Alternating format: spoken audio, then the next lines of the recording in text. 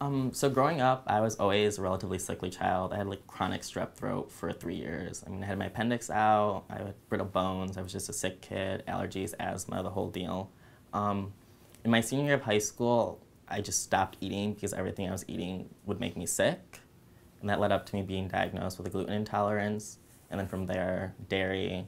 At the time, I changed doctors to see my current allergist, who sees my cousin because I had a lot of similar symptoms with him. And he was just like, You have EOE.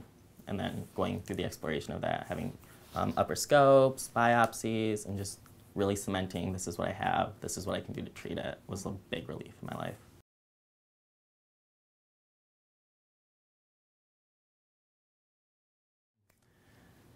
like finally being diagnosed was a relief because it wasn't like I'm not dying anymore. Um, I can eat foods. I just have to be aware of what I'm eating. I mean, I can eat, I can enjoy life, I can be healthy. I'm not going to always be sick now. Just kind of coming back to being a normal human being.